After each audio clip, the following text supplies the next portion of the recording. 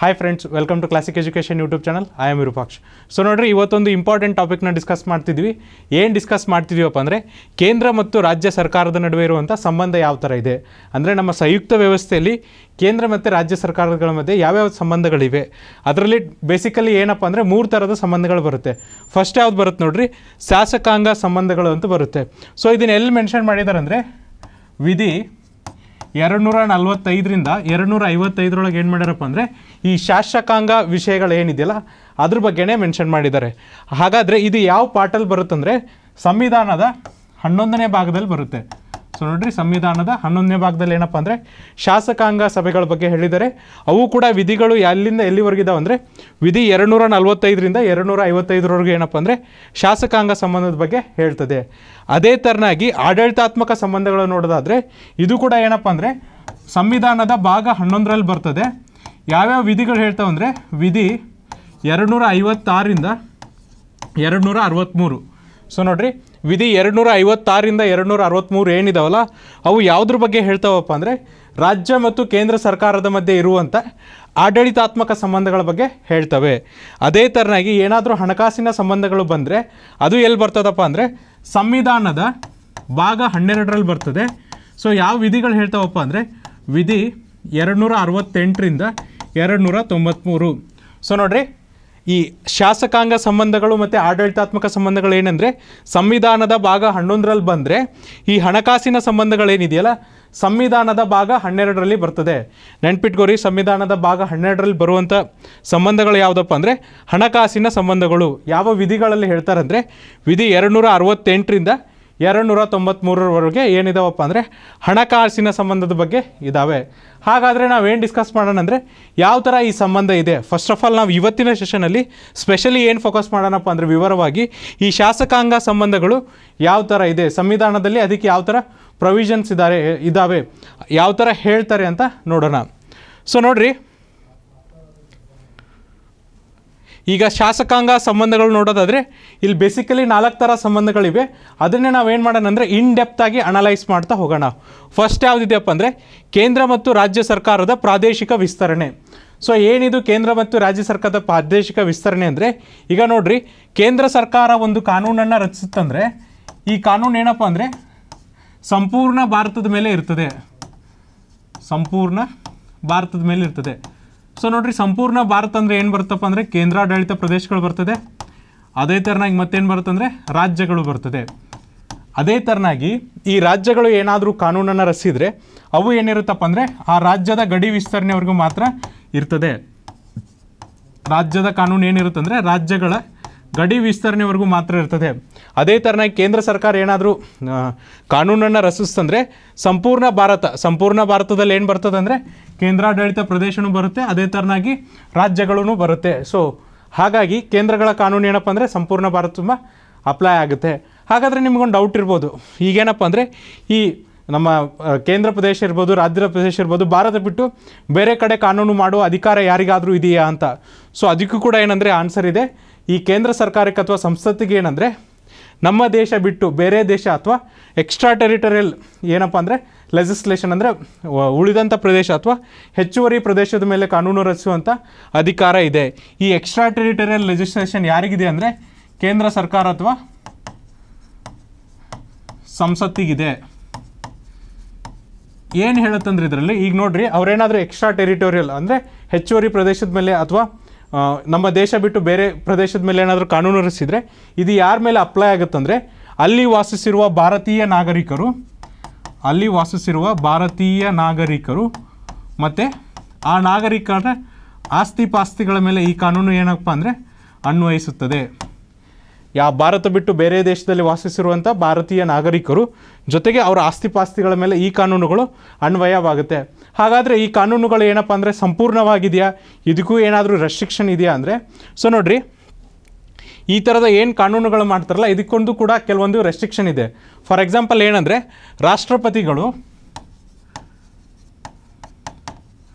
ರಾಷ್ಟ್ರಪತಿಗಳು ಮೂರು ಕೇಂದ್ರಾಡಳಿತ ಪ್ರದೇಶದ ಮೇಲೆ. ಮುಂಚೆ ನಾಲ್ಕಿತ್ತು, ಆ ನಾಲ್ಕರಲ್ಲಿ ಏನು ಮಾಡಿದ್ರಪ್ಪ? ಮೂರು ಮಾಡಿದ್ದಾರೆ. ಯಾಕಂದರೆ ದಾದ್ರಾ ಆ್ಯಂಡ್ ನಾಗರ್ ಹವೇಲಿ, ದಮನ್ ಆ್ಯಂಡ್ ದಿವ್ ಅನ್ನೋದೇನಿತ್ತಂದರೆ ಎರಡು ಬೇರೆ ಬೇರೆ ಕೇಂದ್ರಾಡಳಿತ ಪ್ರದೇಶಗಳಿದ್ವು. ಇವಾಗ ಏನು ಮಾಡಿದ್ದಾರೆ ಅಂದರೆ ದಾದ್ರಾ ಆ್ಯಂಡ್ ನಾಗರ್ ಹವೇಲಿ, ದಮನ್ ಆ್ಯಂಡ್ ದಿವನ್ನ ಒಂದೇ ಕೇಂದ್ರಾಡಳಿತ ಪ್ರದೇಶ ಮಾಡಿರೋದ್ರಿಂದ ರಾಷ್ಟ್ರಪತಿಗಳು ಏನು ಮಾಡ್ಬೋದು ಅಂದರೆ ಮೂರು ಕೇಂದ್ರಾಡಳಿತ ಪ್ರದೇಶಗಳಾದ ಅಂಡಮಾನ್, ನಿಕೋಬಾರ್,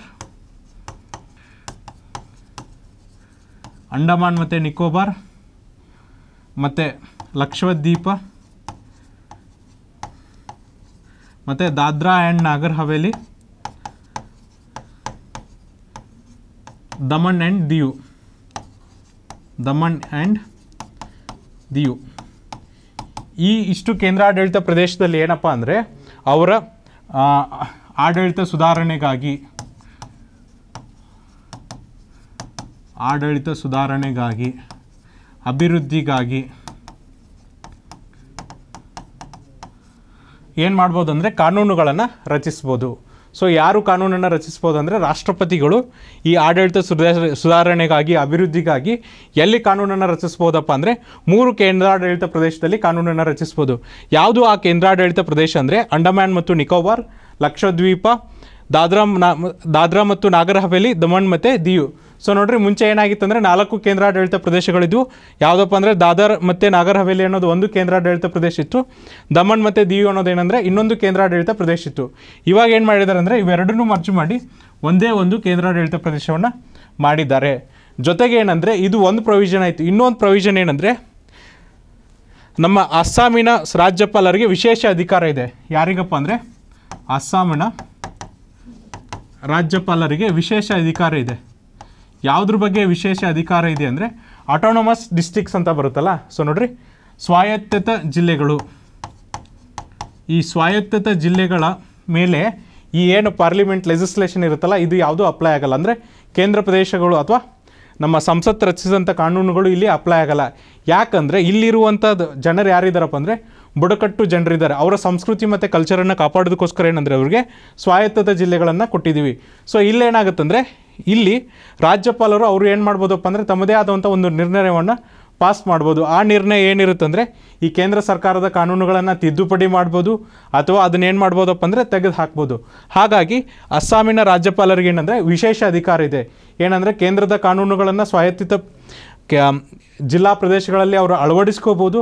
ಅಥವಾ ಅವರೊಂದು ನಿರ್ಣಯದ ಮೂಲಕ ಏನು ಮಾಡ್ಬೋದಪ್ಪ ಅಂದರೆ ತಿದ್ದುಪಡಿಯನ್ನು ಮಾಡ್ಬೋದು ಅಥವಾ ಇನ್ನೂ ಒಂದು ಏನು ಮಾಡ್ಬೋದು ಅಂದರೆ ಆ ಕಾನೂನುಗಳನ್ನ ಕಿತ್ತು ಹಾಕ್ಬೋದು ಅಥವಾ ಅದನ್ನು ತೆಗೆದು ಹಾಕ್ಬೋದು. ಈ ಅಧಿಕಾರ ಯಾರಿಗಿದೆ ಅಂದರೆ ಅಸ್ಸಾಮಿನ ರಾಜ್ಯಪಾಲರಿಗಿದೆ. ಇದನ್ನು ಬಿಟ್ಟರೆ ಇದೇ ಥರನಾದ ಅಧಿಕಾರ ಯಾರ್ದಿ, ಯಾರಿಗಿದೆ ಅಂದರೆ ಭಾರತದ ರಾಷ್ಟ್ರಪತಿಗಳಿಗೆ ಭಾರತದ ರಾಷ್ಟ್ರಪತಿಗಳಿಗೆ ಎಲ್ಲಿದೆಯಪ್ಪ ಅಂದರೆ ಮಿಜೋರಾಂ ಮಿಜೋರಾಂ, ಮೇಘಾಲಯ, ಮತ್ತು ತ್ರಿಪುರಾದಲ್ಲಿ. ಸೊ ಅಲ್ಲಿ ಕೂಡ ಏನಂದರೆ ಈ ಕೇಂದ್ರದ ಕಾನೂನುಗಳನ್ನು ಅವರು ಅಳವಡಿಸ್ಕೋಬೋದು, ಅಥವಾ ಏನಂದರೆ ತಿದ್ದುಪಡಿ ಮಾಡ್ಬೋದು. ಜೊತೆಗೆ ಏನಂದರೆ ಅದನ್ನು ತಿರಸ್ಕರಿಸುವಂಥ ಅಧಿಕಾರ ಯಾರಿಗಿರುತ್ತೆ ಅಂದರೆ ಭಾರತದ ರಾಷ್ಟ್ರಪತಿಗಳಿಗಿರುತ್ತೆ. ಸೊ ನೋಡಿರಿ ನಿಮಗೊಂದು ಇಲ್ಲಿ ಡೌಟ್ ಬರಬೇಕು. ಏನು ಡೌಟ್ ಬರಬೇಕಪ್ಪ ಅಂದರೆ ಅಸ್ಸಾಮಿಗಾದರೆ ರಾಜ್ಯಪಾಲರು ಇದ್ದಾರೆ. ಯಾಕೆ ಮಿಜೋರಾಂ, ಮೇಘಾಲಯ ಮತ್ತು ತ್ರಿಪುರಾದಲ್ಲಿ ರಾಷ್ಟ್ರಪತಿಗಳ ಬರ್ತಾರೆ? ಇಲ್ಲಿ ಯಾಕೆ ರಾಜ್ಯಪಾಲರು ಬರಲ್ಲ ಅಂದರೆ ಸೊ ನೋಡ್ರಿ ಆನ್ಸರ್ ಸಿಂಪಲ್ ಏನಂದರೆ, ಈ ಎಲ್ಲ ಪ್ರದೇಶಗಳು ಮುಂಚೆ ಏನಿದ್ವಪ್ಪ ಅಂದರೆ, ಒಂದು ಅಸ್ಸಾಮಿನ ಭಾಗವಾಗಿದ್ದು ಸೆಕೆಂಡ್ ಏನಂದರೆ, ಇವು ಸಪ್ರೇಟ್ ಆದಾಗ ಫಸ್ಟ್ ಆಫ್ ಆಲ್ ಇವು ಏನಾಗಿದ್ವು ಅಂದರೆ, ಕೇಂದ್ರಾಡಳಿತ ಪ್ರದೇಶಗಳಾಗಿದ್ದವು ಸೊ ಕೇಂದ್ರಾಡಳಿತ ಪ್ರದೇಶ ಆದಮೇಲೆ ನೆಕ್ಸ್ಟ್ ಏನಾದ್ವು ಅಂದರೆ, ರಾಜ್ಯಗಳಾದವು. ಸೊ ಕೇಂದ್ರಾಡಳಿತ ಪ್ರದೇಶದಲ್ಲಿ ಯಾರ ಅಧಿಕಾರ ಜಾಸ್ತಿ ಇರುತ್ತಪ್ಪ? ನಮ್ಮ ರಾಷ್ಟ್ರಪತಿಗಳ ಆಡಳಿತ ಇರುತ್ತೆ. ಹಾಗಾಗಿ, ಇಲ್ಲೇನಂದರೆ, ರಾಷ್ಟ್ರಪತಿಗಳಿಗೆ ವಿಶೇಷ ಅಧಿಕಾರ ಇದೆ. ಸೊ ನೋಡ್ರಿ, ತ್ರಿಪುರ ಏನಾಗುತ್ತಂದರೆ ಹತ್ತೊಂಬತ್ತು ನೂರ ಐವತ್ತಾರರಲ್ಲಿ ಕೇಂದ್ರಾಡಳಿತ ಪ್ರದೇಶ ಆಯಿತು. ಅದೇ ಥರನಾಗಿದ್ದು ಯಾವಾಗ ರಾಜ್ಯ ಆಯ್ತಪ್ಪ ಅಂದರೆ ಹತ್ತೊಂಬತ್ತು ನೂರ ಎಪ್ಪತ್ತರಲ್ಲಿ ರಾಜ್ಯ ಆಯಿತು. ಅದೇ ಥರ ನೀವು ನೋಡೋದಾದರೆ ಮೇಘಾಲಯ ನೋಡ್ರಿ ಹತ್ತೊಂಬತ್ತು ನೂರ ಎಪ್ಪತ್ತರಲ್ಲಿ ಕೇಂದ್ರಾಡಳಿತ ಪ್ರದೇಶ ಆಯಿತು. ಎಪ್ಪತ್ತೆರಡರಲ್ಲಿ ಏನಾಯ್ತು ಅಂದ್ರೆ ಇದು ರಾಜ್ಯ ಆಯಿತು. ನೀವೇನಾದರೂ ಮಿಜೋರಾಮಿಗೆ ನೋಡೋದಿದ್ರೆ ಹತ್ತೊಂಬತ್ತು ನೂರ ಎಪ್ಪತ್ತೆರಡರಲ್ಲಿ ಇದೇನೆಂದರೆ ಕೇಂದ್ರಾಡಳಿತ ಪ್ರದೇಶ ಆಗುತ್ತೆ. ಹತ್ತೊಂಬತ್ತು ನೂರ ಎಂಬತ್ತರಲ್ಲಿ ಇದೇನೆಂದರೆ ಒಂದು ಸಂಪೂರ್ಣ ರಾಜ್ಯವಾಗುತ್ತೆ. ಹಾಗಾಗಿ ಏನಂದರೆ ಇಲ್ಲಿ ರಾಷ್ಟ್ರಪತಿಗಳ ಕೆಲವು ವಿಶೇಷ ಅಧಿಕಾರಗಳಿದ್ದಾವೆ ಯಾಕೆ ವಿಶೇಷ ಅಧಿಕಾರಗಳಿದ್ದಾವೆ ಅಂದರೆ ಇವು ಮುಂಚೆ ರಾಜ್ಯ ಆಗೋದಕ್ಕಿಂತ ಮುಂಚೆ ಇವೇನಿದ್ವಪ್ಪ ಅಂದರೆ ಕೇಂದ್ರಾಡಳಿತ ಪ್ರದೇಶಗಳಿದ್ದವು ಸೊ ಕೇಂದ್ರಾಡಳಿತ ಪ್ರದೇಶದಲ್ಲಿ ಯಾರ ಅಧಿಕಾರ ಇರುತ್ತೆ ಅಂದರೆ ರಾಷ್ಟ್ರಪತಿಗಳ ಆಡಳಿತ ನಡೀತಿರುತ್ತೆ. ಅದನ್ನು ಯಾರು ಮಾಡ್ತಾರಪ್ಪ ಅಂದರೆ ಲೆಫ್ಟಿನೆಂಟ್ ಗವರ್ನರ್ ಮೂಲಕ ನಡೆಸ್ತಿರ್ತಾರೆ. ಹಾಗಾಗಿ ಏನಂದ್ರೆ ಇಲ್ಲಿ ರಾಷ್ಟ್ರಪತಿಗಳ ಆಡಳಿತ ಇದೆ. ಸೊ ನೋಡ್ರಿ ಇದೇನಂದರೆ ರಾಜ್ಯ ಮತ್ತು ರಾಜ್ಯ ಕೇಂದ್ರ ಮತ್ತು ರಾಜ್ಯ ಶಾಸಕಾಂಗದ ಪ್ರಾದೇಶಿಕ ವಿಸ್ತರಣೆ, ಎಷ್ಟು ವಿಸ್ತರಣೆ ಇದೆ ಅಂತ ಹೇಳಿದ್ವಿ. ಕೇಂದ್ರ ಸರ್ಕಾರ ಎಲ್ಲಿವರೆಗೂ ಕಾನೂನನ್ನು ರಚಿಸ್ಬೋದು, ರಾಜ್ಯ ಸರ್ಕಾರ ಎಲ್ಲಿವರೆಗೂ ಕಾನೂನನ್ನು ರಚಿಸ್ಬೋದು, ಈ ಕಾನೂನಿಗಿರುವಂಥ ನಿಬಂಧನೆಗಳು ಅನ್ನೋದನ್ನು ಡಿಸ್ಕಸ್ ಮಾಡಿದ್ವಿ. ನೆಕ್ಸ್ಟ್ ಏನು ಡಿಸ್ಕಸ್ ಮಾಡೋಣ ಅಂದರೆ ಶಾಸಕಾಂಗ ವಿಷಯಗಳ ವಿತರಣೆಯನ್ನು ಡಿಸ್ಕಸ್ ಮಾಡೋಣ. ಏನಿದು ಶಾಸಕಾಂಗ ವಿಷಯಗಳ ವಿತರಣೆ ಅಂದರೆ, ಸೊ ನೋಡ್ರಿ ನಮ್ಮಲ್ಲಿ ಏನಂದರೆ ಮೂರು ಪಟ್ಟಿಗಳಿವೆ. ಯಾವ ಮೂರು ಪಟ್ಟಿಯಪ್ಪ ಅಂದರೆ, ಕೇಂದ್ರ ಪಟ್ಟಿ ಕೇಂದ್ರ ಪಟ್ಟಿ ರಾಜ್ಯ ಪಟ್ಟಿ ಮತ್ತು ಸಮವರ್ತಿ ಪಟ್ಟಿ ಅಂತ ಮೂರು ಪಟ್ಟಿ ಇದೆ. ಸೊ ಈ ಕೇಂದ್ರ ಪಟ್ಟೀಲಿ ಫಸ್ಟು ಎಷ್ಟು ಐಟಮ್ಸ್ ಇದ್ವಪ್ಪ ಅಂದರೆ ತೊಂಬತ್ತೇಳಿದ್ವು ಈಗ ಎಷ್ಟಿದಾವೆ ಅಂದರೆ ನೂರು ಇದ್ದಾವೆ ಅದೇ ಥರನ ರಾಜ್ಯ ಪಟ್ಟೀಲಿ ಫಸ್ಟ್ ಸಂವಿಧಾನ ಬಂದಾಗ ಎಷ್ಟು ವಿಷಯಗಳಿದ್ವು ಅಂದರೆ ಅರವತ್ತೊಂದು ಅರವತ್ತಾರಿದ್ವು ಈಗ ಎಷ್ಟಿದಾವೆ ಅಂದರೆ ಅರವತ್ತೊಂದು ಇದ್ದಾವೆ ಅದೇ ಥರನಾಗಿ ಸಮವರ್ತಿ ಪಟ್ಟೀಲಿ ಸಂವಿಧಾನ ಜಾರಿಯಾದಾಗ ನಲವತ್ತೇಳಿದ್ವು ಈಗ ಎಷ್ಟಾಗಿದ್ದಾವಪ್ಪ ಅಂದರೆ ಐವತ್ತೆರಡು ವಿಷಯಗಳಾಗಿದ್ದಾವೆ ಸೊ ನೋಡ್ರಿ, ಕೇಂದ್ರ ಪಟ್ಟಿಯಲ್ಲಿರುವ ವಿಷಯಗಳನ್ನು ಯಾರು ಕಾನೂನುಗಳನ್ನು ರಚಿಸ್ತಾರೆ ಅಂದರೆ ಕೇಂದ್ರ ಪಟ್ಟಿ ವಿಷಯಗಳ ಮೇಲೆ ಕೇಂದ್ರ ಸರ್ಕಾರ ಅಥವಾ ಸಂಸತ್ ಕಾನೂನನ್ನು ರಚಿಸುತ್ತೆ. ರಾಜ್ಯ ಪಟ್ಟಿಯಲ್ಲಿರುವ ವಿಷಯಗಳ ಮೇಲೆ ರಾಜ್ಯ ಸರ್ಕಾರ ಅಥವಾ ರಾಜ್ಯ ವಿಧಾನಸಭೆ ಏನು ಮಾಡುತ್ತೆ ಅಂದರೆ ಕಾನೂನುಗಳನ್ನು ರಚಿಸುತ್ತೆ. ಅದೇ ಥರನಾಗಿ ಸಮವರ್ತಿ ಪಟ್ಟಿಯಲ್ಲಿರುವ ವಿಷಯಗಳ ಮೇಲೆ ಯಾರು ಕಾನೂನನ್ನು ರಚಿಸ್ತಾರೆ ಅಂದರೆ ಕೇಂದ್ರ ಸರ್ಕಾರ ಮತ್ತು ರಾಜ್ಯ ಸರ್ಕಾರ ಎರಡೂ ಕೂಡ ಏನು ಮಾಡ್ತವಪ್ಪ ಅಂದರೆ ಈ ಸಮವರ್ತಿ ಪಟ್ಟಿಯಲ್ಲಿರುವಂಥ ವಿಷಯಗಳ ಮೇಲೆ ಕಾನೂನನ್ನು ರಚಿಸ್ತವೆ. ಸೊ ನೆನ್ಪಿಟ್ಕೋರಿ, ಕೇಂದ್ರ ಪಟ್ಟಿ ಮೇಲೆ ಸಂಸತ್ ಮಾಡಿದರೆ ರಾಜ್ಯ ಪಟ್ಟಿ ಮೇಲೆ, ವಿಧಾನಸಭೆ ಮಾಡುತ್ತೆ, ಸಮವರ್ತಿ ಪಟ್ಟಿ ಮೇಲೆ ಯಾರು ಮಾಡ್ತಾರೆ ಅಂದರೆ ಕೇಂದ್ರ ಸರ್ಕಾರ ಮತ್ತು ರಾಜ್ಯ ಸರ್ಕಾರ ಎರಡೂ ಕೂಡ ಏನಪ್ಪ ಅಂದರೆ ಈ ವಿಷಯಗಳ ಮೇಲೆ ಕಾನೂನುಗಳನ್ನು ರಚಿಸಬಹುದು.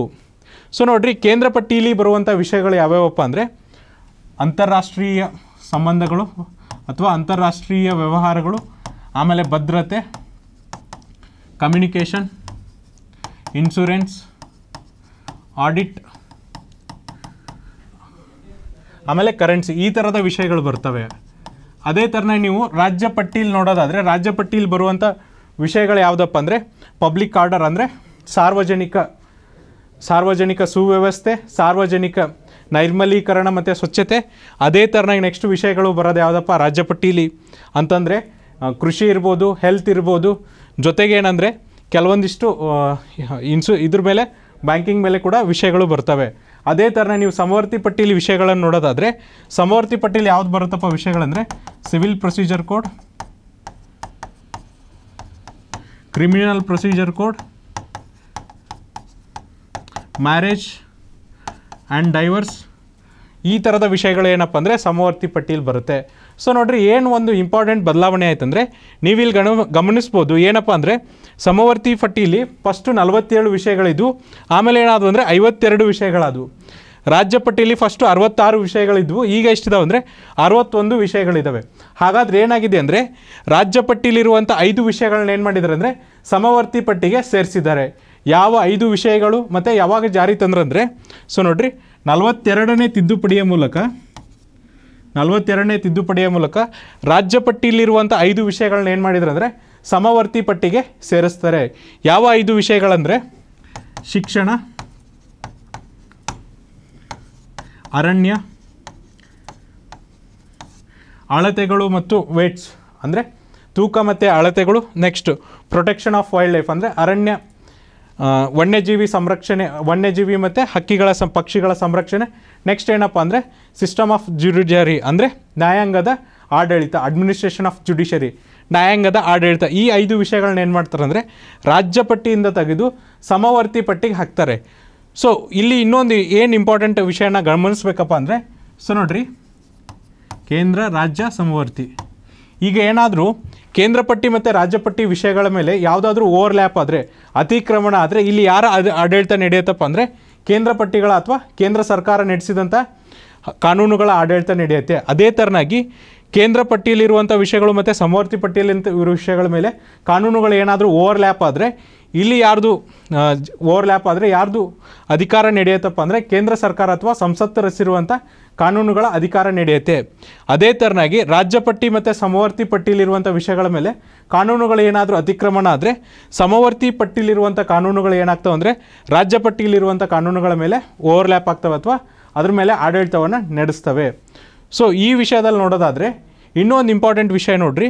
ಈಗ ಸಮವರ್ತಿ ಪಟ್ಟಿಲಿ ಏನಾಗುತ್ತಪ್ಪ ಅಂದರೆ ಕೇಂದ್ರ ಸರ್ಕಾರನು ಕಾನೂನನ್ನು ರಚಿಸುತ್ತೆ, ಮತ್ತು ರಾಜ್ಯ ಸರ್ಕಾರನು ಕಾನೂನನ್ನು ರಚಿಸುತ್ತೆ. ಈಗ ಕೇಂದ್ರ ಸರ್ಕಾರ ರಚಿಸಿದ ಕಾನೂನು ಮತ್ತು ರಾಜ್ಯ ಸರ್ಕಾರದ ಕಾನೂನುಗಳು ಒಂದಕ್ಕೊಂದು ತಾಳೆ ಹೊಂದಿಲ್ಲ, ಒಂದಕ್ಕೊಂದು ಅತಿಕ್ರಮಣ ಮಾಡ್ತಿದ್ರೆ ಅವಾಗ ಏನಾಗುತ್ತಪ್ಪ ಅಂದರೆ ಕೇಂದ್ರ ಸರ್ಕಾರದ ಕಾನೂನುಗಳು ಏನಾಗ್ತವೆ ಅಂದರೆ ಓವರ್ಟೇಕ್ ತೊಗೊಳುತ್ತೆ, ಆದರೆ ಅದು ಮುಂದೆ ಬರುತ್ತೆ, ಅದರದ್ದು ಮೇಲ್ಗೈ ಸಾಧಿಸುತ್ತೆ. ಆದರೆ, ಈ ಆದರೆ ಅನ್ನೋದು ತುಂಬ ಇಂಪಾರ್ಟೆಂಟ್ ಆಗಿದೆ. ಏನಪ್ಪ ಅಂದರೆ ಈ ರಾಜ್ಯ ಸರ್ಕಾರದ ಕಾನೂನುಗಳು ಏನು ಇವು ಇದ್ದಾವಲ್ಲ ಇವನ್ನೇನಾದರೂ ರಾಷ್ಟ್ರಪತಿಗಳು ರಾಷ್ಟ್ರಪತಿಗಳು ಮಾನ್ಯತೆ ಕೊಟ್ಟಿದ್ದರೆ ಅಥವಾ ಕನ್ಸಿಡರ್ಸಿ ಕನ್ಸಿಡರಿಗೆ ತೊಗೊಂಡಿದ್ರೆ, ಅಂದರೆ ಅವರೇನಾದರೂ ಅದಕ್ಕೆ ಮಾನ್ಯತೆ ಕೊಟ್ಟಿದ್ರೆ ಅಥವಾ ಕನ್ಸಿಡರ್ ಮಾಡಿದರೆ, ಅವಾಗ ಏನಾಗುತ್ತಪ್ಪ ಅಂದರೆ ರಾಜ್ಯ ಪಟ್ಟಿಗಳ ವಿಷಯಗಳು, ಕೇಂದ್ರ ಪಟ್ಟಿಗಳ ವಿಷಯಗಳ ಮೇಲೆ ಓವರ್ ರೈಡ್ ಆಗುತ್ತೆ, ಅಂದರೆ ಮೇಲ್ಗೈಯನ್ನು ಸಾಧಿಸುತ್ತೆ. ಸೊ ಇವಾಗ ನೋಡ್ರಿ ಏನಾಗಿದೆ ಅಂದರೆ ನಮ್ಮ ನೀಟ್ ಬಿಲ್ ಪಾಸ್ ಮಾಡಿದಾರಲ್ಲ, ಅಲ್ಲಿ ಏನಾಗ್ತಿದೆ ಅಂದರೆ ಶಿಕ್ಷಣ ಅನ್ನೋದು ಯಾವುದ್ರ ಮೇಲೆ ಬರುತ್ತೆ ಅಂದರೆ ಸಮವರ್ತಿ ಪಟ್ಟಿಯ ವಿಷಯಗಳ ಮೇಲೆ ಬರುತ್ತೆ. ಹಾಗಾಗಿ ಕೇಂದ್ರ ಸರ್ಕಾರದವರು ಒಂದು ಕಾನೂನನ್ನು ರಚಿಸಿದ್ದಾರೆ. ಈಗ ತಮಿಳ್ನಾಡು ಗೌರ್ಮೆಂಟ್ ಏನು ಮಾಡಿದೆ ಅಂದರೆ, ಆ ಕಾನೂನನ್ನು ಅಮೆಂಡ್ಮೆಂಟ್ ಮಾಡೋದಕ್ಕೋಸ್ಕರ ಅದೊಂದು ರೆಸೊಲ್ಯೂಷನ್ ಅಂದರೆ ನಿರ್ಣಯವನ್ನು ಪಾಸ್ ಮಾಡಿ ಅಲ್ಲಿರುವಂಥ ಗವರ್ನರಿಗೆ ಕೊಟ್ಟಿದ್ದಾರೆ. ಆ ಗವರ್ನರ್ ಏನಪ್ಪ ಅಂದರೆ ರೀಕನ್ಸಿಡರೇಷನ್ಗೆ ಮತ್ತೆ ಅಸೆಂಬ್ಲಿ ಕಳಿಸಿದ್ರು. ಅಸೆಂಬ್ಲಿ ಅವ್ರು ಮತ್ತೇನು ಮಾಡಿದ್ರು ಅಂದರೆ ಅದನ್ನು ಪಾಸ್ ಮಾಡೋದ್ರ ಮೂಲಕ ಮತ್ತೆ ಗವರ್ನರ್ ಒಪ್ಪಿಗೆ ಕೊಟ್ಟಿದ್ದಾರೆ. ಈಗ ಏನಾದರೂ ಗವರ್ನರು ಇದನ್ನು ರಾಷ್ಟ್ರಪತಿಗೆ ಫಾರ್ವರ್ಡ್ ಮಾಡಿದರೆ ಏನಾಗುತ್ತಂದರೆ, ರಾಷ್ಟ್ರಪತಿಗಳು ಅದನ್ನು ಕನ್ಸಿಡರ್ ಮಾಡ್ತಾರೆ. ಅವಾಗ ಏನಾಗುತ್ತಪ್ಪ ಅಂದರೆ, ಈ ಕೇಂದ್ರ ಪಟ್ಟಿಯ ಕಾನೂನುಗಳು ಅಥವಾ ಕೇಂದ್ರ ಕಾನೂನುಗಳ ಮೇಲೆ ರಾಜ್ಯದ ಕಾನೂನುಗಳು ಏನಾಗುತ್ತಂದರೆ, ಮೇಲ್ಗೈಯನ್ನು ಸಾಧಿಸುತ್ತೆ ಇದಕ್ಕೋಸ್ಕರ ಅವ್ರು ಏನು ಮಾಡ್ತಿದ್ದಾರೆ ಅಂದರೆ ಅದನ್ನು ವಿತೌಟ್ ಮಾಡ್ತಿದ್ದಾರೆ. ಇದ್ರ ಜೊತೆ ಜೊತೆಗೆ ನೋಡ್ರಿ ಕೆಲವೊಂದಿಷ್ಟು ಶೇಷಾಧಿಕಾರಿಗಳು ಅಂತ ಇದ್ದಾವೆ ಏನಿದು ಶೇಷಾಧಿಕಾರಿಗಳು ಅಂತಂದರೆ ಸೊ ನೋಡ್ರಿ, ಯಾವುದು ಕೇಂದ್ರ ಪಟ್ಟಿ, ರಾಜ್ಯ ಪಟ್ಟಿ ಮತ್ತು ಸಮವರ್ತಿ ಪಟ್ಟಿಯಲ್ಲಿ ವಿಷಯಗಳು ಬರ, ಬರೋದಿಲ್ಲಲ್ಲ ಅಂಥ ಕೆಲವೊಂದಿಷ್ಟು ಕಾನೂನುಗಳನ್ನು ನಾವೇನಂತೀವಿ ಅಂದರೆ ಶೇಷಾಧಿಕಾರಿಗಳು ಅಂತ ಕರಿತೀವಿ. ಸೊ ಈ ಶೇಷಾಧಿಕಾರಿಗಳು ಯಾರಿಗಿರುತ್ತಪ್ಪ ಅಂದರೆ ಸಂಸತ್ತಿಗಿರುತ್ತೆ. ಸೊ ನೋಡ್ರಿ, ನಾವು ಸಂಯುಕ್ತ ವ್ಯವಸ್ಥೆನ ಎಲ್ಲಿಂದ ತೊಗೊಂಡಿದ್ದೀವಪ್ಪ ಅಂದರೆ ಕೆನಡಾ ದೇಶದಿಂದ ತೊಗೊಂಡಿದ್ದೀವಿ ಸೊ ಇಲ್ಲೇನಾಗುತ್ತೆ ಅಂದರೆ ಈ ಶೇಷಾಧಿಕಾರಿಗಳು ಎರಡಿದೆ. ಅವ್ರೇನು ಮಾಡ್ತಾರೆ ಅಂದರೆ ಕೇಂದ್ರ ಸರ್ಕಾರಕ್ಕೊಂದು ಶೇಷಾಧಿಕಾರಿಗಳನ್ನು ಕೊಟ್ಟಿದ್ದಾರೆ, ರಾಜ್ಯ ಸರ್ಕಾರಕ್ಕೊಂದು ಶೇಷಾಧಿಕಾರಿಗಳನ್ನ ಕೊಟ್ಟಿದ್ದಾರೆ. ಅದೇ ಥರನಾಗಿ ನೀವು ಅಮೇರಿಕಾನ ಕನ್ಸಿಡರ್ ಮಾಡಿದಾದರೆ, ಇಲ್ಲಿ ಶೇಷಾಧಿಕಾರಿಗಳು ಯಾರಿಗಿರುತ್ತಪ್ಪ ಅಂದರೆ ಅಮೇರಿಕಾದಲ್ಲಿ? ರಾಜ್ಯಗಳಿಗಿರುತ್ತೆ. ಸೊ ಆಸ್ಟ್ರೇಲಿಯಾ ತೊಗೊಂಡ್ರು ಕೂಡ ಆಸ್ಟ್ರೇಲಿಯಾದಲ್ಲಿ ಶೇಷಾಧಿಕಾರಿಗಳು ಯಾರಿಗಿರುತ್ತೆ ಅಂದರೆ ರಾಜ್ಯಗಳಿಗಿರುತ್ತೆ. ಬಟ್ ನಮ್ಮ ಸಂವಿಧಾನದಲ್ಲಿ ಏನಂದರೆ, ಶೇಷಾಧಿಕಾರಿಗಳು ಅಥವಾ ವಿಶೇಷ ಅಧಿಕಾರಿಗಳು ಯಾರಿಗಿದೆ ಅಂದರೆ ಸಂಸತ್ತಿಗಿದೆ. ಜೊತೆಗೆ ನೋಡ್ರಿ ನಿಮಗೆ ಗೊತ್ತು government of India act nineteen thirty five so ಇದು government of India government of India act nineteen thirty five so ಇದು ಏನು ಮಾಡ್ತಪ್ಪ ಅಂದರೆ ನಮ್ಮಲ್ಲಿ ಮೂರು ವಿಷಯಗಳನ್ನು ರಚಿಸ್ತು. ಏನಂದರೆ ಪ್ರಾದೇಶಿಕ ಫೆಡರಲ್ ಕಾನೂನು ಮತ್ತು ಪ್ರಾದೇಶಿಕ ಕಾನೂನು ಮತ್ತು ಸಮವರ್ತಿ ಪಟ್ಟಿ ಕಾನೂನುಗಳು. ಕೇಂದ್ರ ಕಾನೂನು, ರಾಜ್ಯ ಕಾನೂನು ಮತ್ತು ಸಮವರ್ತಿ ಪಟ್ಟಿ ಅಂತ ರಚಿಸ್ತು. ಇಲ್ಲೇನಾಗಿತ್ತಪ್ಪ ಅಂದರೆ ಏನು ಶೇಷಾಧಿಕಾರಿಗಳು ಉಳಿದಿದ್ವಲ್ಲ, ಅವನು ಯಾರಿಗೆ ಕೊಟ್ಟಿದ್ರು ಅಂದರೆ ಗವರ್ನರ್ ಜನರಲ್ಗೆ ಕೊಟ್ಟಿದ್ರು. ಸೊ ನೋಡ್ರಿ, ಗವರ್ನರ್ ಜನರಲ್ಗೆ ಏನಂದರೆ ಉಳಿದಂಥ ಶೇಷಾಧಿಕಾರಿಗಳನ್ನ ಕೊಟ್ಟಿದ್ರು. ಬಟ್ ನಾವೀಗ ಸಂವಿಧಾನನ ಅಡಾಪ್ಟ್ ಮಾಡಿಕೊಂಡಾಗ ಈ ಶೇಷಾಧಿಕಾರಿಗಳು ಯಾವುದಕ್ಕೆ, ಯಾರಿಗಿದೆಯಪ್ಪ ಅಂದರೆ ಸಂವಿಧಾನಕ್ಕಿದೆ. ಸೊ ಇದನ್ನು ಇಂಗ್ಲೀಷಲ್ಲಿ ಹೇಳೋದಾದರೆ ರೆಸಿಡ್ಯೂರಿ ಪವರ್ಸ್ ಅಂತ ಹೇಳ್ತೀವಿ. ಸೊ ನೋಡ್ರಿ ನೈನ್ಟೀನ್ ತರ್ಟಿ ಫೈವ್ ಆ್ಯಕ್ಟಿಗೂ ಮತ್ತು ಈಗಿನ ಕಾನೂನುಗಳಿಗೆ ಏನಪ್ಪ ಅಂದರೆ ಏನು ಶೇಷಾಧಿಕಾರಿಗಳಿದಾವಲ್ಲ ಇವು ಯಾರಿಗೆ ಕೊಟ್ಟಿದ್ದಾರೆ ಅಂದರೆ ಸಂಸತ್ತಿಗೆ ಕೊಟ್ಟಿದ್ದಾರೆ. ಬಟ್ ನೈನ್ಟೀನ್ ತರ್ಟಿ ಫೈವ್ ಆ್ಯಕ್ಟಲ್ಲಿ ಯಾರಿಗೆ ಕೊಟ್ಟಿದ್ರಪ್ಪ ಅಂದರೆ ಗವರ್ನರ್ ಜನರಲ್ಗೆ ಕೊಟ್ಟಿದ್ದರು ಸೊ ಇದೇನಪ್ಪ ಅಂದರೆ ಶಾಸಕಾಂಗ ವಿಷಯಗಳ ವಿತರಣೆ ಬಗ್ಗೆ. ನೆಕ್ಸ್ಟ್ ನೋಡೋದಾದರೆ ರಾಜ್ಯ ಕ್ಷೇತ್ರದಲ್ಲಿ ಸಂಸತ್ತಿನ ಶಾಸನ. ಇದ್ರ ಬಗ್ಗೆ ಡಿಸ್ಕಸ್ ಮಾಡೋಣ. ಸೊ ನೋಡ್ರಿ, ಯಾವಾಗ ಯಾವಾಗೆಲ್ಲ ಇದು ಬರ್ತದೆ ಅಂದರೆ ಫಸ್ಟ್ ಆಫ್ ಆಲ್ ನೋಡ್ರಿ, ರಾಜ್ಯಸಭೆಯ ನಿರ್ಣಯವನ್ನು ಅಂಗೀಕರಿಸಿದಾಗ. ಸೊ ರಾಜ್ಯಸಭೆ ಏನು ಮಾಡುತ್ತಪ್ಪ ಅಂದರೆ, ವಿಧಿ ಎರಡುನೂರ ನಲವತ್ತೊಂಬತ್ತರಲ್ಲಿ ವಿಧಿ ಎರಡುನೂರ ನಲವತ್ತೊಂಬತ್ತರಲ್ಲಿ ರಾಷ್ಟ್ರೀಯ ಹಿತಾಸಕ್ತಿ ದೃಷ್ಟಿಯಿಂದ. ಸೊ ನೋಡ್ರಿ ವರ್ಡ್ಸ್ ಏನು ಹೇಳಿದ್ದಾರೆ ಅಂದರೆ ರಾಷ್ಟ್ರೀಯ ಹಿತಾಸಕ್ತಿ ದೃಷ್ಟಿಯಿಂದ ತಮ್ಮ ವಿಶೇಷ ಅಧಿಕಾರದ ಮೂಲಕ ಅಥವಾ ಸ್ಪೆಷಲ್ ರೆಸೊಲ್ಯೂಷನ್ ಏನು ಸ್ಪೆಷಲ್ ರೆಸೊಲ್ಯೂಷನ್ ಅಪ್ಪ ಅಂದರೆ, ಮೂರನೇ ಎರಡು ಭಾಗ ಮೆಂಬರ್ಸ್ ಪ್ರೆಸೆಂಟ್ ಆ್ಯಂಡ್ ವೋಟಿಂಗ್ ಇರಬೇಕು. ಸೊ ನೋಡ್ರಿ ಪ್ರೆಸೆಂಟ್ ಆ್ಯಂಡ್ ಪ್ರಸ್ತುತ ಮತ್ತು ಮತ ಚಲಾವಣೆ ಮಾಡಬೇಕು. ಅದ್ರ ಮೂಲಕ ಏನಾದರೂ ನಿರ್ಣಯವನ್ನು ಅಂಗೀಕರಿಸಿದರೆ ಅವಾಗ ಏನಾಗುತ್ತೆ ಅಂದರೆ ಸಂಸತ್ತು ಆ ವಿಷಯಗಳ ಮೇಲೆ ಕಾನೂನನ್ನು ರಚಿಸೋಕ್ಕೆ ಬರುತ್ತೆ. ಯಾವಾಗ ಬರುತ್ತಪ್ಪ ಅಂದರೆ ರಾಜ್ಯಸಭೆ ಎರಡುನೂರ ನಲವತ್ತೊಂಬತ್ತು ವಿಧಿಯಲ್ಲಿ ರಾಷ್ಟ್ರೀಯ ಹಿತಾಸಕ್ತಿ ದೃಷ್ಟಿಯಿಂದ ಎರಡನೇ ಮೂರು ವಿಶೇಷ ಮೆಜಾರಿಟಿ ಮೂಲಕ ಒಂದು ರೆಸೊಲ್ಯೂಷನ್ನ ಪಾಸ್ ಮಾಡಿದರೆ ಆ ಮೆಜಾರಿಟಿಲಿ ಏನಿರಬೇಕಂದ್ರೆ ಪ್ರೆಸೆಂಟ್ ಆ್ಯಂಡ್ ವೋಟಿಂಗ್ ಅಂದರೆ ಪ್ರಸ್ತುತ ಮತ್ತು ಚುನಾವಣೆ ಮಾಡಬೇಕು. ಅಂಥದ್ರ ಮೂಲಕ ಪಾಸ್ ಮಾಡಿದರೆ ಮಾತ್ರ ಏನಾಗುತ್ತೆ ಅಂದರೆ ಸಂಸತ್ ಆ ರಾಜ್ಯದ ವಿಷಯಗಳ ಮೇಲೆ ಏನು ಮಾಡ್ಬೋದಪ್ಪ ಅಂದರೆ ಕಾನೂನುಗಳನ್ನು ರಚಿಸ್ಬೋದಾಗಿದೆ. ಸೊ ಈ ಕಾನೂನುಗಳಿದಾವಲ್ಲ, ಇವುಗಳ ಅವಧಿ ಎಷ್ಟಿರುತ್ತಪ್ಪ ಅಂದರೆ ಕೇವಲ ಒಂದು ವರ್ಷ ಮಾತ್ರ ಇವುಗಳ ಅವಧಿ ಇರುತ್ತೆ. ಈ ಕಾನೂನುಗಳು ಯಾವಾಗ ಡೇಟ್ ಡಿಬಾರ್ ಆಗುತ್ತೆ ಅಥವಾ ಮುಗಿದೋಗುತ್ತಂದರೆ ಈ ಒಂದು ವರ್ಷ ಅವಧಿ ಮುಗಿದ ತಕ್ಷಣ ಏನಾಗುತ್ತಪ್ಪ ಅಂದರೆ ಆರು ತಿಂಗಳಿಗೆ ಅವು ಏನಾಗ್ತದಂದರೆ ತಂತಾನೆ ರದ್ದುಗೊಳ್ಳುತ್ತವೆ. ಅದೇ ಥರನಾಗಿ ಈಗ ಕಾನೂನುಗಳೇನಪ್ಪ ಅಂದರೆ ಪ್ರತಿ ವರ್ಷ ನೀವೇನಂದರೆ ರಿನ್ಯೂ ಮಾಡಬಹುದು. ನೀವು ಎಷ್ಟು ವರ್ಷ ಬೇಕಾದರೂ ಅದನ್ನು ಏನು ಮಾಡ್ಬೋದಪ್ಪ ಅಂದರೆ ಮುಂದುವರ್ಸ್ಕೊಂಡು ಹೋಗಬೇಕು. ಆದರೆ ಏನು ಮಾಡಬೇಕಂದ್ರೆ ಪ್ರತಿ ಸರಿ ಅದನ್ನು ನೀವೇನು ಮಾಡಬೇಕಂದ್ರೆ ಸಂಸತ್ನಲ್ಲಿ ಅಂಗೀಕರಿಸಬೇಕಾಗತ್ತೆ. ನೀವು ಎಷ್ಟು ವರ್ಷ ಬೇಕಾದರೂ ಇದನ್ನು ಏನಂದರೆ ರಿನ್ಯೂ ಮಾಡ್ಬೋದು. ಒಂದು ಕಂಡೀಷನ್ ಅಪ್ಪ ಅಂದರೆ ಪ್ರತಿ ಸರಿ ಇದನ್ನು ಸಂಸತ್ತಲ್ಲಿ ಅಂಗೀಕರಿಸಬೇಕಾಗತ್ತೆ. ಅದರ ವ್ಯಾಲಿಡಿಟಿ ಎಷ್ಟಿರುತ್ತಪ್ಪ ಅಂದರೆ ಒಂದು ವರ್ಷ ಇರುತ್ತೆ. ಅದೇ ಥರನಾಗಿ ಯಾವಾಗ ರದ್ದುಗೊಳ್ತಾವಂದರೆ ಈ ಕಾನೂನಿನ ಒಂದು ವರ್ಷ ಮುಗಿದ ಮೇಲೆ ಏನು ಆರು ತಿಂಗಳಾಗುತ್ತಲ್ಲ ಅವಾಗ ಅದೇನಾಗುತ್ತಪ್ಪ ಅಂದರೆ ರದ್ದುಗೊಳ್ಳುತ್ತೆ. ಸೊ ನಿಮಗೆ ಕ್ವಶನ್ಸ್ ಇರ್ಬೋದು. ಹಾಗಾದರೆ ರಾಜ್ಯ ಸರ್ಕಾರ ಇದ್ರ ಮೇಲೆ, ಈ ವಿಷಯಗಳ ಮೇಲೆ ಕಾನೂನನ್ನು ರಚಿಸಲ್ವಾ ಅಂದರೆ ಎಸ್ ರಾಜ್ಯ ಸರ್ಕಾರದವರು ಕಾನೂನನ್ನು ರಚಿಸ್ಬೋದು.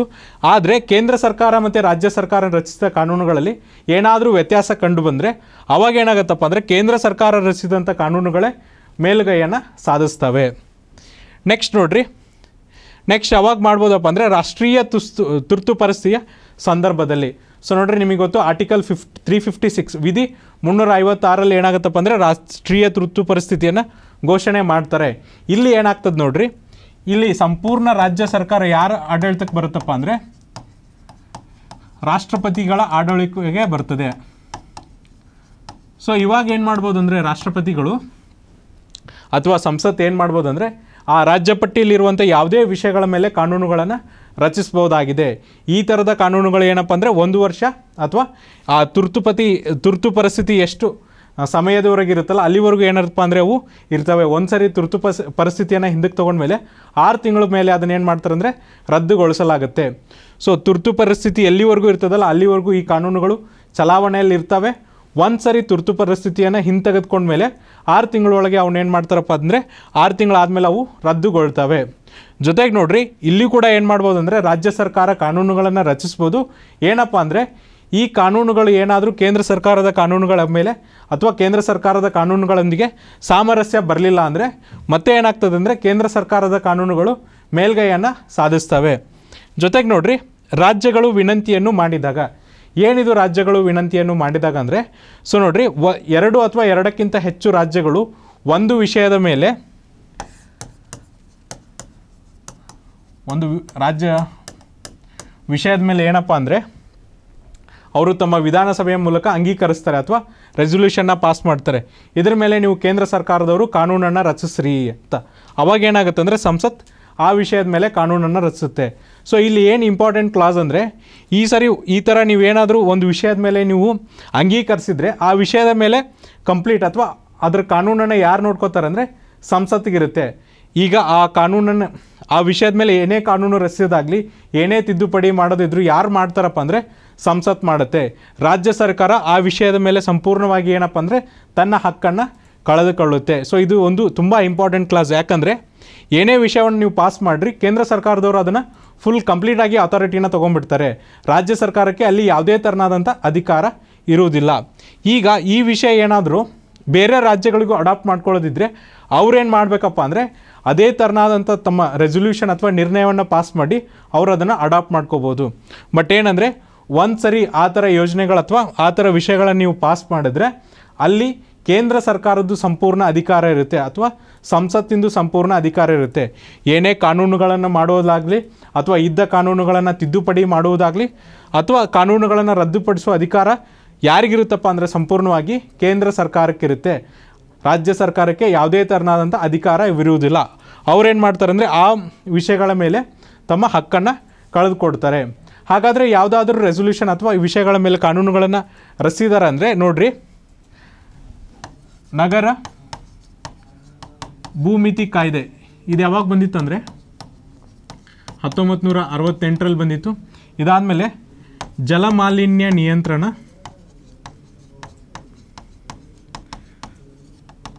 ಮತ್ತು ತಡೆ ಕಾಯ್ದೆ. ಇದು ಯಾವಾಗ ಬಂದಿತ್ತಪ್ಪ ಅಂದರೆ ಹತ್ತೊಂಬತ್ತು ನೂರ ಎಪ್ಪತ್ನಾಲ್ಕರಲ್ಲಿ ಬಂದಿತ್ತು. ಈ ಥರದ ಇನ್ನೊಂದಿಷ್ಟು ಕೆಲವೊಂದಿಷ್ಟು ಕಾನೂನುಗಳು ಬಂದಿದೆ.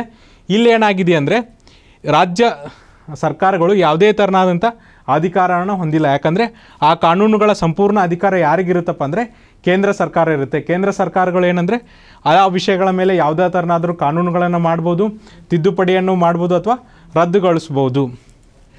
ಜೊತೆಗೆ ನೋಡಿರಿ, ಅಂತಾರಾಷ್ಟ್ರೀಯ ಒಪ್ಪಂದಗಳ ಜಾರಿಗೆ ತರಲು. ಸೊ ಏನಾಗುತ್ತೆ ಅಂದರೆ ಭಾರತ ಬೇರೆ ದೇಶದೊಂದಿಗೆ ಅಂತಾರಾಷ್ಟ್ರೀಯ ಒಪ್ಪಂದವನ್ನು ಮಾಡಿಕೊಂಡಿರುತ್ತೆ. ಅಲ್ಲಿ ತಮ್ಮ ಕಟ್ಟುಪಾಡುಗಳು ಅಥವಾ ಕಟ್ಟುಪಾಡುಗಳು ಅಥವಾ ಬದ್ಧತೆಗಳನ್ನು ತೋರಿಸ್ಕೊಳ್ಳೋದಕ್ಕೋಸ್ಕರ ಕೇಂದ್ರ ಸರ್ಕಾರ ಏನು ಮಾಡ್ಬೋದು ಅಂದರೆ ರಾಜ್ಯ ಪಟ್ಟಿ ಯಾವುದೇ ವಿಷಯದ ಮೇಲೆ ಅವ್ರು ಏನು ಮಾಡ್ಬೋದು ಅಂದರೆ ಕಾನೂನನ್ನು ರಚಿಸ್ಬೋದು. ಹಾಗಾದರೆ ಈ ಥರದ ಕಾನೂನುಗಳು ಆಗಿದೆಯಾ ಅಂದರೆ, ಕೆಲವೊಂದಿಷ್ಟು ಕಾನೂನುಗಳಾಗಿದೆ. ಯಾವುದಪ್ಪ ಅಂದರೆ, ಜನೇಯ, Geneva convention act nineteen seventy two ಈ ಥರದ ಕೆಲವೊಂದಿಷ್ಟು ಕಾನೂನುಗಳನ್ನು ಆಗಲೇ ಮಾಡಿದ್ದಾರೆ. ಯಾವುದಕ್ಕೆ ಅಂದರೆ, ಅಂತಾರಾಷ್ಟ್ರೀಯ ಕಟ್ಟುಪಾಡುಗಳು ಮತ್ತು ಬದ್ಧತೆಯನ್ನು ಹೊಂದ್ ಹೊಂದೋದಕ್ಕೋಸ್ಕರ. ಯಾಕಂದರೆ ನಾವು ಅಂತಾರಾಷ್ಟ್ರೀಯವಾಗಿ ಏನು ಮಾಡಿರ್ತೀವಪ್ಪ ಅಂದರೆ ಒಪ್ಪಂದವನ್ನು ಮಾಡ್ಕೊಂಡಿರ್ತೀವಿ. ಅದಕ್ಕೋಸ್ಕರ ಏನು ಕಟ್ಟುಪಾಡುಗಳಿರುತ್ತೆ, ಬದ್ಧತೆಗಳಿರುತ್ತಲ್ಲ, ಅದನ್ನು ಪೂರೈಸುವುದಕ್ಕೋಸ್ಕರ ನಾವೇನು ಮಾಡ್ಬೋದು ಅಂದರೆ ರಾಜ್ಯ ಪಟ್ಟಿಯಲ್ಲಿರುವ ಯಾವುದೇ ವಿಷಯಗಳ ಮೇಲೆ ಕೇಂದ್ರ ಸರ್ಕಾರ ಕಾನೂನುಗಳನ್ನು ರಚಿಸಬಹುದು. ಜೊತೆಗೆ ನೋಡ್ರಿ, ರಾಷ್ಟ್ರಪತಿಯ ಆಳ್ ಆಳ್ವಿಕೆಯ ಅವಧಿಯಲ್ಲಿ. ಸೊ, ರಾಷ್ಟ್ರಪತಿಯ ಆಳ್ವಿಕೆ ಅವಧಿ ಅಂದರೆ ಸ್ಟೇಟ್ ಎಮರ್ಜೆನ್ಸಿ ಅಂತ ಬರುತ್ತೆ. ಸೊ ಇಲ್ಲೇನಾಗುತ್ತೆ ಅಂದರೆ ಸಂಪೂರ್ಣವಾಗಿ ರಾಜ್ಯ ಸರ್ಕಾರವನ್ನು ಯಾರು ಆಡಳಿತ ನಡೆಸ್ತಾರೆ ಅಂದರೆ ರಾಷ್ಟ್ರಪತಿಗಳು ಆಡಳಿತ ನಡೆಸ್ತಾರೆ. ಅವಾಗ ಏನಾಗುತ್ತಪ್ಪ ಅಂದರೆ ರಾಜ್ಯದ ಸಂಪೂರ್ಣ ಆಡಳಿತ ಅವ್ರ ಕೈಯಲ್ಲಿ ಇರೋದ್ರಿಂದ ರಾಜ್ಯ ಪಟ್ಟಿಯಲ್ಲೇ ಯಾವ ಇರುವಂಥ ಯಾವುದೇ ವಿಷಯಗಳ ಮೇಲೆ ಅವರು ಕಾನೂನುಗಳನ್ನು ರಚಿಸ್ಬೋದು. ಈ ಕಾನೂನುಗಳಿಗೆ ಯಾವುದೇ ಥರನಾದಂಥ ಏನಪ್ಪ ಅಂದರೆ ಸಮಯ ಇರುವುದಿಲ್ಲ. ಇವು ರದ್ದತಿ ಯಾವ ಥರ ಆಗುತ್ತಂದರೆ ಸೊ ನೋಡಿರಿ, ಈ ವಿಷಯಗಳು ಯಾವ ಥರ ರದ್ದತಿ ಆಗುತ್ತಂದರೆ ಒಂದ್ಸರಿ ರಾಷ್ಟ್ರಪತಿ ಆಡಳಿತ ಹೋದ್ಮೇಲೆ ನೀವೇನು ಮಾಡ್ಬೇಕಂದ್ರೆ ಸ್ಟೇಟ್ ಗೌರ್ಮೆಂಟ್ ಅವರು ರೆಸೊಲ್ಯೂಷನ್ನ ಪಾಸ್ ಮಾಡಬೇಕು. ಅವಾಗ ಮಾತ್ರ ಈ ಕಾನೂನುಗಳ ರದ್ದತಿ ಆಗುತ್ತೆ. ಬಿಟ್ಟರೆ ರಾಷ್ಟ್ರಪತಿಗಳ ಆಡಳಿತ ಮುಗಿದ ಮೇಲೆ ರಾಷ್ಟ್ರಪತಿಗಳ ಆಳ್ವಿಕೆ ಮುಗಿದ ತಕ್ಷಣ ಈ ಕಾನೂನುಗಳ ಏನಪ್ಪ ಅಂದರೆ ರದ್ದತಿ ಆಗುವುದಿಲ್ಲ. ಯಾಕಂದರೆ ಈ ಕಾನೂನುಗಳಿಗೂ, ರಾಷ್ಟ್ರಪತಿಯ ಆಳ್ವಿಕೆಗೂ ಯಾವುದೇ ಥರನಾದಂಥ ಸಂಬಂಧ ಇರಲ್ಲ. ಈ ಕಾನೂನುಗಳನ್ನು ನೀವು ರದ್ದತಿ ಮಾಡಬೇಕಂದ್ರೆ ಏನು ಮಾಡಬೇಕಪ್ಪ ಅಂದರೆ ಸ್ಟೇಟ್ ಗೌರ್ಮೆಂಟ್ ಅವರು ಅವರ ವಿಧಾನಸಭೆಯ ಮೂಲಕ ಏನು ಮಾಡಬೇಕಂದ್ರೆ ನಿರ್ಣಯವನ್ನು ಪಾಸ್ ಮಾಡಬೇಕಾಗುತ್ತೆ. ಅವಾಗ ಮಾತ್ರ ಏನಾಗುತ್ತೆ ಅಂದರೆ ಈ ಕಾನೂನುಗಳು ರದ್ದತಿ ಆಗುತ್ತೆ ಅಂದರೆ ಕಾನೂನುಗಳಿಗೂ ಮತ್ತು ರಾಷ್ಟ್ರಪತಿಯ ಆಳ್ವಿಕೆಗೂ ಯಾವುದೇ ಥರನಾದಂಥ ಸಂಬಂಧ ಇಲ್ಲಿ ಇರುವುದಿಲ್ಲ. ಅದೇ ಥರನಾಗಿ ನೋಡ್ರಿ, ಲಾಸ್ಟ್ ಯಾವುದಪ್ಪ ಅಂದರೆ ರಾಜ್ಯ ಶಾಸಕಾಂಗದ ಮೇಲೆ ಕೇಂದ್ರ ನಿಯಂತ್ರಣ. ಏನಿದೆ ಅಂದರೆ, ಸೊ ನೋಡ್ರಿ, ಈಗ ಒಂದು ಸ್ಟೇಟ್ ಗೌರ್ಮೆಂಟ್ ಅಥವಾ ಒಂದು ವಿಧಾನಸಭೆ ಒಂದು ಬಿಲ್ನ ಪಾಸ್ ಮಾಡಿದರೆ ಗೌರ್ಮೆಂಟ್ ಅಥವಾ ಗವರ್ನರ್ ಏನು ಮಾಡ್ತಾರೆ ಅಂದ್ರೆ ರೀಕನ್ಸಿಡ್ರೇಷನ್ ಮಾಡ್ತಾರೆ ಅಥವಾ ವಿಟೋ ಮಾಡ್ತಾರೆ. ಈ ಥರದ ಅಧಿಕಾರಗಳು ಯಾರಿಗಿರುತ್ತೆ ಅಂದರೆ ಗವರ್ನರ್ಗಿರುತ್ತೆ. ಗವರ್ನರ್ನ ನಾವು ಏನಂತ ಕರಿತೇವಪ್ಪ ಅಂದರೆ ಸೆಂಟ್ರಲ್ ಏಜೆಂಟ್ ಅಥವಾ ಕೇಂದ್ರ ಸರ್ಕಾರದ ಏಜೆಂಟ್ಗಳಂತ ಭಾಳ ಸರಿ ಕರೀತಾರೆ. ಜೊತೆಗೆ ನೋಡ್ರಿ, ಇನ್ನೂ ಒಂದು ವಿಷಯ ಏನಪ್ಪ ಅಂದರೆ, ಗವರ್ನರ್ಗಳು ಆ ಥರ ಪಾಸ್ ಮಾಡಿದಂಥ ರೆಸೊಲ್ಯೂಷನ್ನ ಮತ್ತೆ ಅಸೆಂಬ್ಲಿಗೆ ರೀಕನ್ಸಿಡ್ರೇಷನ್ಗೆ ಕಳಿಸ್ಬೋದು. ಈಗ ನೆಕ್ಸ್ಟ್ ಕಳಿಸಿದಂಥದ್ದನ್ನು ಏನಪ್ಪ ಅಂದರೆ, ರಾಷ್ಟ್ರಪತಿಗಳಿಗೆ ಕಳಿಸ್ಬೋದು. ರಾಷ್ಟ್ರಪತಿಗಳು ಈ ವಿಷಯಗಳ ಮೇಲೆ ಅಬ್ಸುಲ್ಯೂಟ್ ವಿಟೋ ಪವರ್ನ ಯೂಸ್ ಮಾಡ್ತಾರೆ. ಸೊ ನೋಡ್ರಿ, ಈ ವಿಷಯಗಳ ಮೇಲೆ ರಾಷ್ಟ್ರಪತಿಗಳಿಗೆ ಏನಿದೆಯಪ್ಪ ಅಂದರೆ ಅಬ್ಸುಲ್ಯೂಟ್ ವಿಟೋ ಪವರ್ ಇದೆ. ಅವರಿಗೆ ಯಾವುದೇ ಥರನಾದಂಥ ರಿಸ್ಟ್ರಿಕ್ಷನ್ಸ್ ಇಲ್ಲ. ಎಲ್ಲಿ ರಾಜ್ಯ ವಿಷಯ ರಾಜ್ಯ ಸರ್ಕಾರ ರಚಿಸಿದಂಥ ಕಾನೂನುಗಳ ಮೇಲೆ ಅವರಿಗೆ ಅಬ್ಸುಲ್ಯೂಟ್ ವಿಟೋ ಪವರ್ ಇರುತ್ತೆ. ಸೊ ವಿಟೋ ಪವರ್ ಅಂದರೆ ಏನಪ್ಪ ಅಂದರೆ, ಈಗ ನೀವು ಒಂದು ವಿಧಾನಸಭೆ ಮೂಲಕ ಅಥವಾ ಸಂಸತ್ತಿನ ಮೂಲಕ ಒಂದು ಕಾನೂನು ರಚಿಸೋಕ್ಕೆ ನೀವು ಏನು ಮಾಡಿರ್ತೀರಪ್ಪ ಅಂದರೆ ಪಾಸ್ ಮಾಡಿರ್ತೀರ, ನಿರ್ಣಯ ಮಾಡಿರ್ತೀರ ಸೊ ರಾಷ್ಟ್ರಪತಿಗಳು ಅದಕ್ಕೆ ಸಮ್ಮತಿ ಕೊಟ್ಟಾಗ ಮಾತ್ರ ಅದೇನಾಗುತ್ತೆ ಅಂದರೆ ಕಾನೂನಾಗುತ್ತೆ ಇಲ್ಲಾಂದರೆ ಅದು ಬರೀ ಕಾಯ್ದೆಯಾಗಿರುತ್ತೆ ಸೊ ಇದನ್ನು ಅವರು ಕೊಡ್ಬೋದು, ಕೊಡದೇ ಇರ್ಬೋದು. ಅವ್ರೇನು ಹೇಳ್ಬೋದಪ್ಪ ಅಂದರೆ ವಿಟೋ ಪವರಲ್ಲಿ ನಾನು ಇದಕ್ಕೆ ಸಮ್ಮತಿ ಕೊಡೋಕ್ಕಾಗಲ್ಲ ಅಂತೇಳಿ ಅದನ್ನೇನು ಮಾಡ್ಬೋದು ಅಂದರೆ ತಿರಸ್ಕರ್ಬೋ, ತಿರಸ್ಕರಿಸ್ಬೋದು. ಇದಕ್ಕೆ ನಾವೇನಂತ ಕರಿತೀವಿ ಅಂದರೆ ವಿಟೋ ಪವರ್ ಅಂತ ಕರಿತೀವಿ. ಸೊ ಹೀಗೆ ಏನು ಮಾಡುತ್ತೆ ಅಂದರೆ ರಾಜ್ಯ ಶಾಸಕಾಂಗದ ಮೇಲೆ ಕೇಂದ್ರ ನಿಯಂತ್ರಣ ಮಾಡುತ್ತೆ. ಇದಿಷ್ಟೇನಪ್ಪ ಅಂದರೆ ರಾಜ್ಯ ಮತ್ತು ಕೇಂದ್ರ ಸರ್ಕಾರದ ಮಧ್ಯೆ ಇರುವಂಥ ಸಂವಿಧಾನಿಕ ರಿಲೇಷನ್ಶಿಪ್ ಹೇಗಿದೆ, ಸಂಬಂಧಗಳು ಹೇಗಿದೆ ಅಂತ ಡಿಸ್ಕಸ್ ಮಾಡಿದ್ವಿ. ನೆಕ್ಸ್ಟ್ ಏನು ಮಾಡೋಣ ಅಂದರೆ ಆಡಳಿತಾತ್ಮಕ ನಿಯಂತ್ರಣಗಳು ಹೇಗಿದೆ ಅಥವಾ ಆಡಳಿತಾತ್ಮಕ ಸಂಬಂಧಗಳು ಹೇಗಿದೆ, ಅದೇ ಥರನಾಗಿ ನೆಕ್ಸ್ಟ್ ಯಾವುದಪ್ಪ ಅಂದರೆ ಫೈನಾನ್ಷಿಯಲ್ ರಿಲೇಷನ್ಸ್ ಹೇಗಿದೆ ಅನ್ನೋದನ್ನು ನೆಕ್ಸ್ಟ್ ವೀಡಿಯೋದಲ್ಲಿ ಡಿಸ್ಕಸ್ ಮಾಡೋಣ. ಅಲ್ಲಿವರೆಗೂ ನೋಡ್ತಾ ಇರಿ classic education YouTube channel thank you